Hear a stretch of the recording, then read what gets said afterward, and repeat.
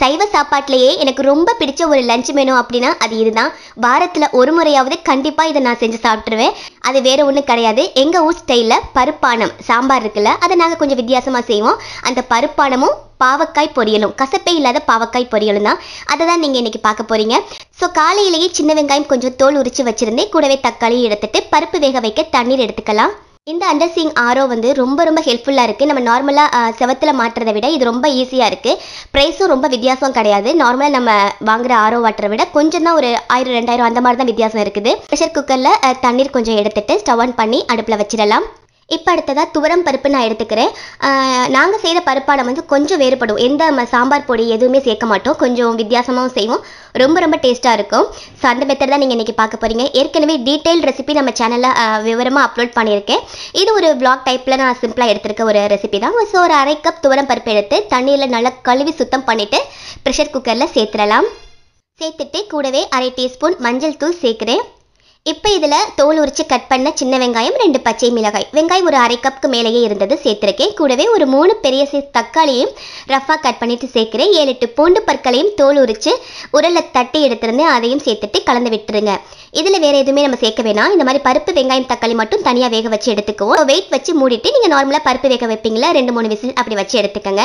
இப்போ இந்த சாம்பார் இந்த பருப்பானத்துக்கு நான் வந்து ரெண்டு முருங்கைக்காயும் கொஞ்சம் நாட்டு கத்திரிக்காயும் எடுத்திருந்தேன். அதை கட் பண்ணி எடுத்துக்கலாம். முருங்கைக்காயை ஃபுல்லாக நீங்கள் கட் பண்ணுறதை விட இந்த மாதிரி ஒரு தொண்ணூறு சதவீதம் கட் பண்ணிவிட்டு தோல் உரிச்ச மாதிரி இப்படி பிச்சு எடுத்திங்கன்னா மேலே கொஞ்சம் பிளாக்காக இருக்கும்ல அதெல்லாம் உங்களுக்கு வந்துடும் நான் இந்த மாதிரி தான் ட்ரை பண்ணுவேன். சில பேர் கத்திலேயே கூட சீவி எடுப்பாங்க. எனக்கு இது கொஞ்சம் ஈஸியாக இருக்கும். நான் இந்த மெத்தடில் தான் முருங்கைக்காய் கட் பண்ணுவேன். அதுக்கடையில் பருப்பும் நல்லா விசில் வந்துருச்சு. இது வந்து நாட்டு கத்திரிக்காய். ரொம்ப குட்டி குட்டியாக தான் இருக்கும். சாப்பிட ரொம்ப டேஸ்ட்டாக இருக்கும். இதில் நீங்கள் இந்த பிரியாணிக்கு செய்யக்கூடிய கத்திரிக்காய் ஊறுகாய் கத்திரிக்காய் ப- சம்பல்லாம் செய்வோம்ல அதில் செஞ்சிங்கன்னா ரொம்ப டேஸ்ட்டாக இருக்கும். எனக்கு கிடைச்சது ஸோ நான் பருப்பானத்துக்கு தான் சேர்த்து செய்ய போகிறேன் கத்திரிக்காய் எப்போதுமே கட் பண்ணதும் தண்ணியில் போட்டு வச்சுக்கோங்க. எல்லாருக்கும் தெரிஞ்சிருக்கும். பிகினர்ஸ்க்காக சொல்கிறேன் இல்லைன்னா கருத்து போயிடும். இது கூடவே நான் முருங்கைக்காயும் சேர்த்து தண்ணியில் சேர்த்து நல்லா கழுவி எடுத்துக்கலாம். இப்போ நான் வந்து பாவக்காய்க்கும் சின்ன வெங்காயமே கட் பண்ணி எடுத்திருக்கேன். ஒரு அரை கப் வரைக்கும். சின்ன வெங்காயம் கொஞ்சம் நிறையா போட்டுக்கோங்க. அல்லது பெரிய வெங்காயம் கூட சேர்த்துக்கலாம். கூடவே பாகக்காய் பாகற்காய். ரொம்ப மெல்லிசா ரவுண்ட் ஷேப்பில் கட் பண்ணி எடுத்திருக்கேன்.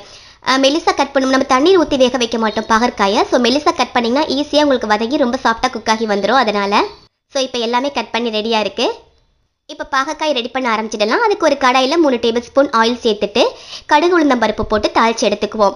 இன்னும் எதுவுமே நான் ப்ராப்பராக செட் பண்ணலை. புது கிச்சன் வந்த பிறகு. ஏன்னா குக்கிங்கும் பார்த்துக்கணும் வீடியோவும் பார்த்துக்கணும் செட் பண்ணணும் அப்படின்னா ரொம்ப டைம் எடுக்கும்ல. ஸோ எல்லா பாக்ஸும் கொஞ்சம் காலியாக தான் இருக்குது கொஞ்சம் கடுகு கொஞ்சம் உளுந்த பருப்பு நார்மலாக நம்ம தாளிப்புக்கு சேர்ப்போம்ல அது மாதிரி தான் போட்டு சேர்த்துட்டு நல்லா பொரிஞ்சு வந்த பிறகு கட் பண்ணி எடுத்த சின்ன வெங்காயம் இருக்குல்ல அதை இதில் சேர்த்துருங்க. சேர்த்துட்டு வதக்கி விட்டுக்கோங்க. நீங்கள் பெரிய வெங்காயம் கூட சேர்த்துக்கலாம். அல்லது ஒரு பாதி தக்காளியும் இது கூட சேர்த்துக்கலாம். அதுவும் நல்ல டேஸ்ட்டாக இருக்கும். இப்போ மூணு விசிலுக்கு பிறகு ஸ்டவ் ஆஃப் பண்ணிவிட்டு வெயிட் எல்லாம் போன பிறகு ஓப்பன் பண்ணி பார்க்குறேன் பருப்பு நல்லா வெந்திருக்கு. இந்த பக்கம் வந்து வெங்காயம் நல்லா வதக்கி விட்டுக்கலாம். வெங்காயம் வதங்கி வந்த பிறகு கட் பண்ணி எடுத்த பாகற்காயும் சேர்த்துட்டு நல்லா கலந்து விட்டுருங்க. அடுப்பு ஒரு மிதமான தீலே வச்சுட்டு கலந்து விடுங்க. பகக்காய் நல்லா வதங்கி வரட்டும். அதுக்கிடையில் நம்ம கட் பண்ணி வச்ச கத்தரிக்காய் முருங்கைக்காய் இருக்குல்ல அதை எடுத்து பருப்பு கூட சேர்த்துக்கோங்க. சேர்த்துட்டு தேவையான அளவுக்கு உப்பு அண்ட் காரத்துக்கு தகுந்த மாதிரி மிளகாய்த்தூள் நான் ஒரு அரை டேபிள் ஸ்பூன் சேர்க்குறேன். கூடவே தேவையான அளவுக்கு தண்ணீரும் சேர்த்துட்டு கலந்து விட்டுக்கோங்க. இப்போ நீங்கள் வெயிட் வைக்க வேணாம். வெயிட் வச்சா சீக்கிரம் வெந்துடும் ஆனால் டேஸ்ட் இருக்காது. ஸோ காய் சேர்த்த பிறகு ஒரு மிதமான தீயில வச்சு நார்மலாக மூடி வச்சே வேக வச்சுக்கோங்க. நான் வந்து குக்கர் மூடி தான் வச்சிருக்கேன். பட் நான் லாக் பண்ணலை. இந்த மாதிரி வேக வச்சு எடுத்துக்கலாம். இப்போ இந்த பக்கம் பாகக்காயை வதக்கி விட்டுட்டு மிளகாய்த்தூள் அரை டீஸ்பூன் மல்லித்தூள் கால் டீஸ்பூன் சீரகத்தூள் கால் டீஸ்பூன் மஞ்சள் தூள் கால் டீஸ்பூன். எல்லாமே கொஞ்சம் கொஞ்சம் சேர்த்துட்டு கலந்து விட்டுக்கோங்க. சேர்த்துட்டு லோ ஃப்ளேமில் வச்சுக்கோங்க. ஏன்னா நம்ம தண்ணி சேர்க்க மாட்டோம். மெதுவாக வதங்கி வரணும். ஸோ குறைவான தீயில வச்சே வதக்கி விடுங்க. அதுக்கிடையில் நம்ம காய்கறியும் நல்லா வெந்து வந்துருச்சு. ஒரு பத்து நிமிஷம் போதும். வெயிட் வைக்காமலே சீக்கிரமாகவே வெந்துடும் குட்டி குட்டி கத்திரிக்காய் தானே. ஸோ ரொம்ப சூப்பராக வெந்து வந்திருக்கு. இப்போ இதில் புளிக்கரைச்சல் சேர்த்துக்கலாம். ஒரு பெரிய நெல்லிக்காய் சைஸில் புளி எடுத்து தண்ணியில் ஊற வச்சு கரைச்சி எடுத்துருந்தேன். அதை சேர்த்துட்டு டேஸ்ட் பண்ணி பார்த்துக்கோங்க. ரொம்ப புளிப்பாக இருக்கக்கூடாது. இந்த பக்கம் நம்மளுடைய பகற்காயும் நல்லா வதங்கிட்டு இருக்கு. குறைவான தீயில. லேசாக புளி சேர்த்த பிறகு கொதிக்க ஸ்டார்ட் ஆகும்ல அந்த மாதிரி வந்த பிறகு ஒரு சின்ன தாளிப்பு கொடுத்துடலாம்.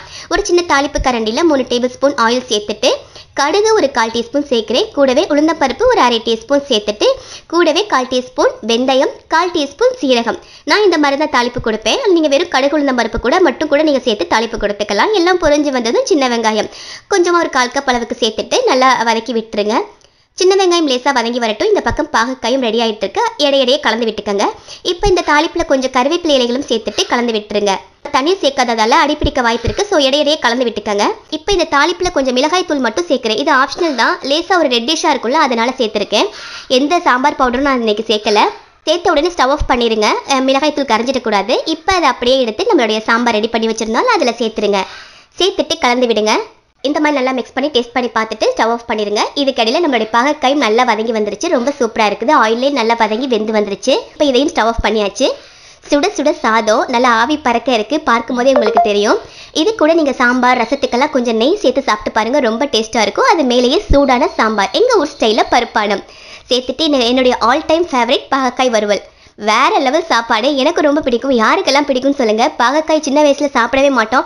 ஆனா அதுவே பழகி பழகி இப்போ one of the favourite recipe ஆயிருச்சு.